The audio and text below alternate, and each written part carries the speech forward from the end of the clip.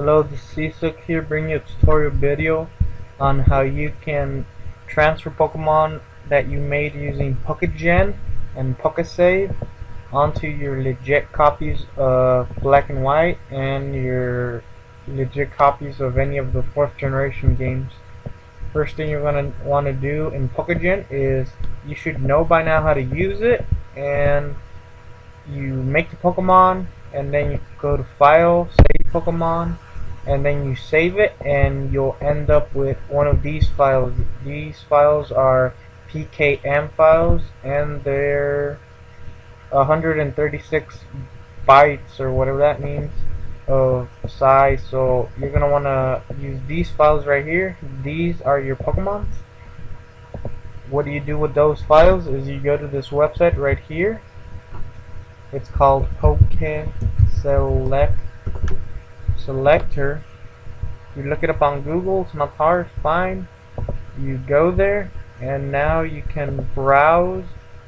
Click on the Pokemon you want to send over to your DS, and click Submit.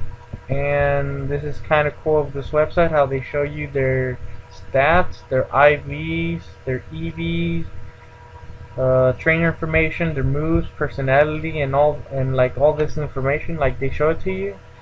And now this Pokemon is like a server. It does stuff, and the way you get it onto your DS is using this DNS code thing.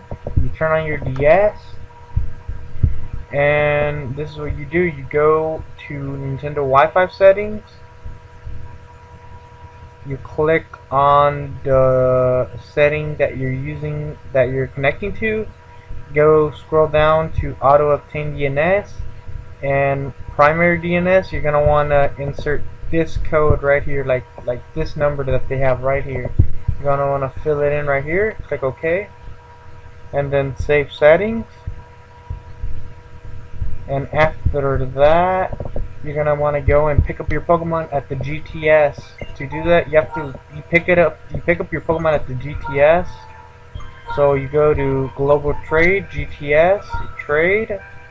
You save the game, and then you go in. Uh, the this website says that you have to have six Pokemon in your party.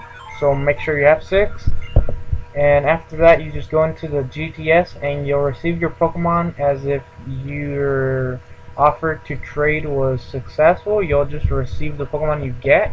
I can't really record any footage of me getting it. And after all that's finished, uh, just as a reminder, don't forget to change your DNS settings back. To do that, you simply just go back over here, scroll down, auto obtain DNS, you click yes, and then save settings. That way you can play online normally again and this has been the tutorial on how you can get uh, Pokemon you've made using Pokégen on your DS by yourself without an R4 or anybody else helping you trade so yeah